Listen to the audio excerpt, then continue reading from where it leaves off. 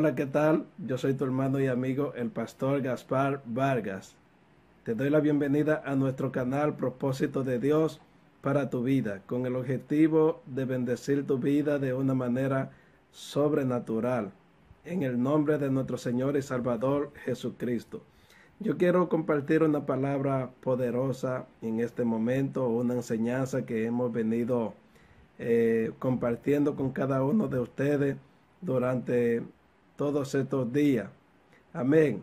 Pero antes quiero invitarle a que se suscriban a nuestro canal, denle like y compartan con cada uno de sus amigos y activen la campanita de notificación para que puedan seguir disfrutando de cada uno de nuestros contenidos. Cuando comparten con cada uno de sus amigos, están contribuyendo a que el reino del Señor sea expandido hacia cada vida, hacia cada hogar y hacia cada corazón. Amén. Así que les bendigo de una manera sobrenatural en el nombre de nuestro Señor y Salvador Jesucristo.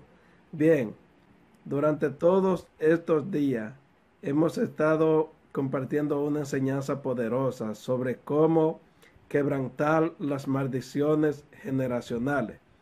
En la enseñanza pasada estuvimos hablando cómo cancelar las automaldiciones en nuestra vida.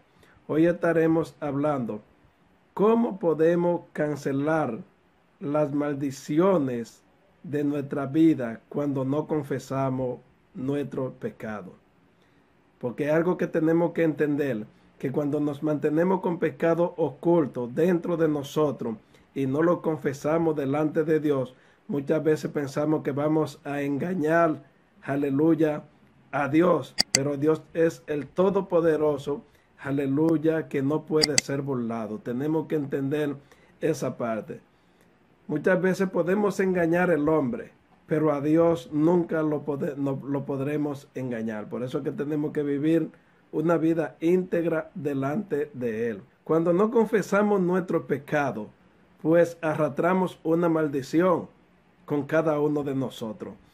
Tenemos que entender que somos nueva criatura en Cristo Jesús y si somos nueva criatura en Cristo Jesús, todas las cosas son hechas nuevas en nuestras vidas. ¿Cuánto lo creen? Amén. Yo creo que todas las cosas son hechas nuevas en cada una de nuestras vidas. Entonces, toda raíz de pecado, aleluya, que eh, tal vez ha venido persiguiendo nuestras vidas, queda rota en el nombre poderoso de Jesús de Nazaret. Nos declaramos libres de todo pecado. Nos declaramos en santidad total. Aleluya. Que nada ni nadie pueda manchar nuestra vestidura. En el libro de Proverbios, capítulo 28, verso 13. En el nombre del Padre, del Hijo y del Espíritu Santo. Amén. Dice así la palabra del Señor. El que no confiesa su pecado no prosperará, pero el que lo confiesa alcanzará misericordia. Padre, te damos gracias, Señor Gracias por esta palabra. Habla cada una de las vidas, Padre amado, que escuchen tu palabra, Señor. Sea tú tratando con cada uno de los corazones en el nombre del Padre, Hijo y Espíritu Santo. Amén. Pues bien, como podemos entender, dice, según esta porción de la palabra, dice que el que no confiesa su pecado no prosperará. Hay personas que se pasan la vida entera luchando, se pasan la vida entera trabajando, luchando, fatigado, cansado por alcanzar cualquier propósito. Bendito sea el nombre del Señor. Y muchas veces no pueden lograr sus objetivos que se han propuesto en Dios. Pero dice la palabra del Señor que el que no confiesa su pecado no prosperará. Pero cuando usted se fatiga la vida, y usted no prospera y usted mismo se da cuenta y usted dice, pero estoy afanando demasiado, estoy luchando demasiado y yo no puedo ver un cambio en mi vida. Tenemos que cuando llegan esos acontecimientos a nuestra vida, tenemos que revisarnos si hay alguna maldición generacional de pecado no confesado que tiene que ser, aleluya, quebrantado. Es importante que usted sepa que usted tiene que renunciar a toda falta de confección de pecado al Señor.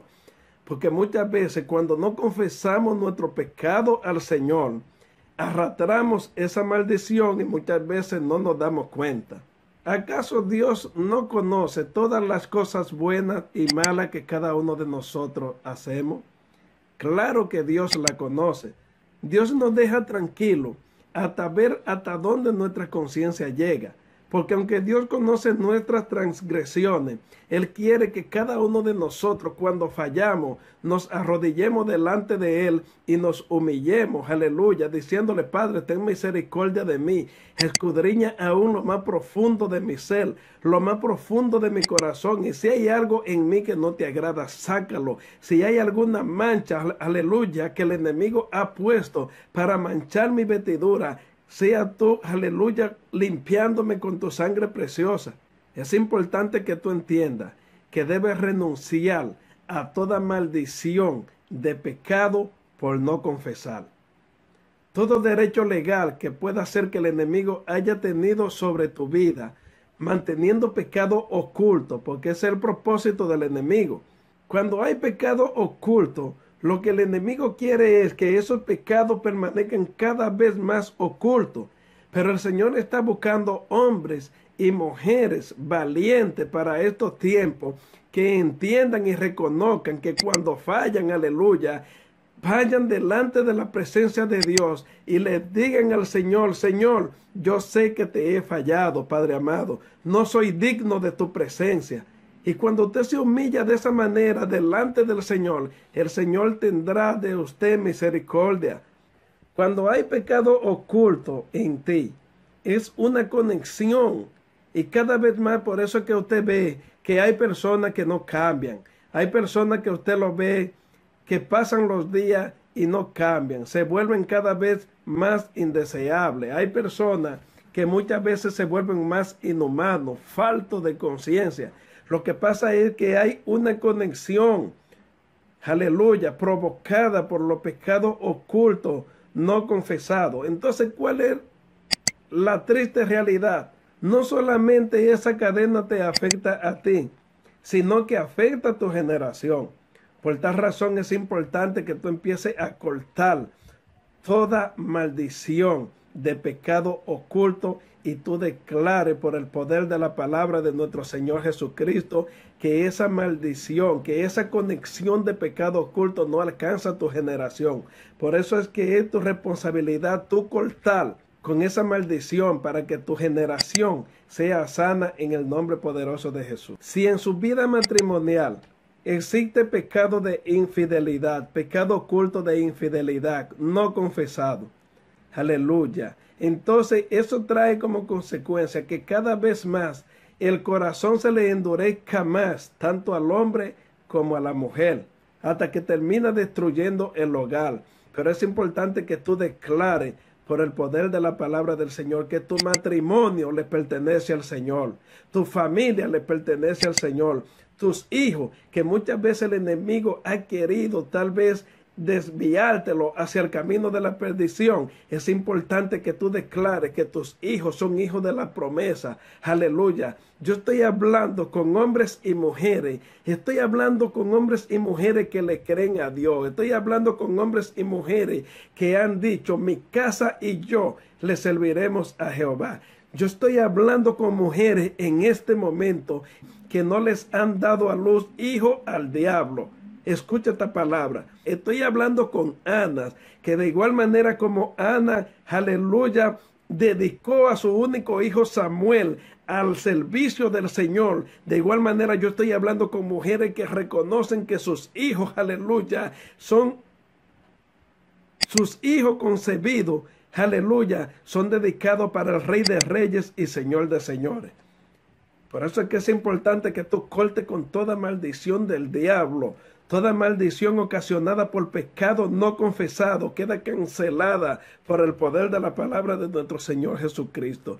Es importante que tú declares que tu vida, tu casa, tu familia y tu generación son libres por el poder de la palabra de nuestro Señor y Salvador Jesucristo. Finalmente quiero decir, sé sincero contigo mismo y pídele al Señor, Señor, si en algo te he fallado, si existe algún pecado oculto en mí, yo te pido que tú lo saques. Te pido que tú escudriñes aún lo más profundo de mi corazón.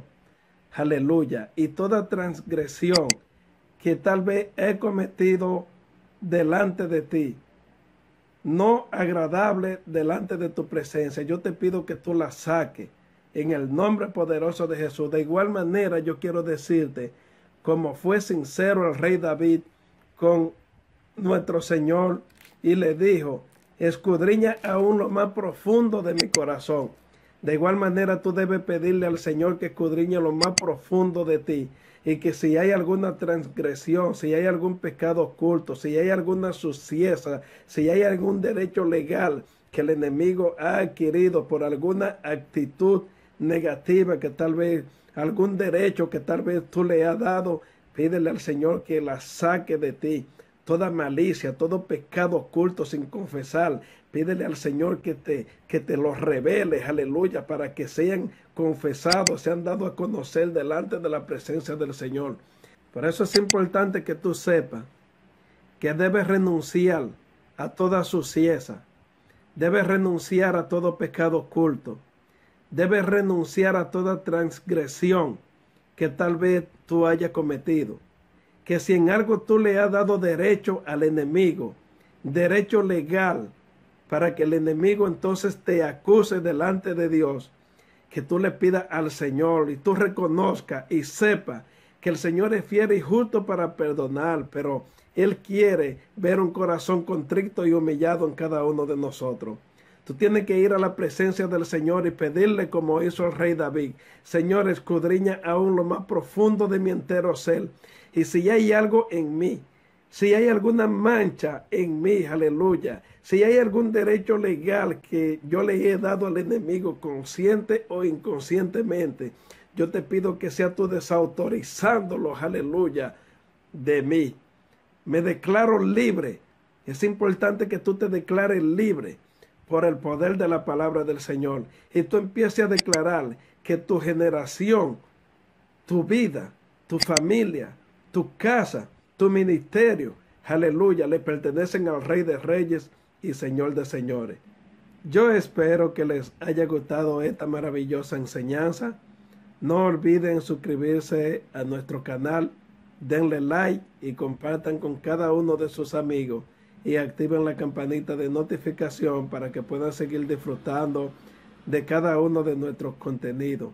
Y de esa manera el reino del Señor sea expandido hacia cada vida. Así que Dios les bendiga, Dios les guarde. Quien les habló y compartió con cada uno de ustedes, su hermano y amigo el pastor Gaspar Vargas. Dios les bendiga a cada uno de ustedes que la sangre de nuestro Señor y Salvador Jesucristo les cubra y les guarde a cada uno. Amén.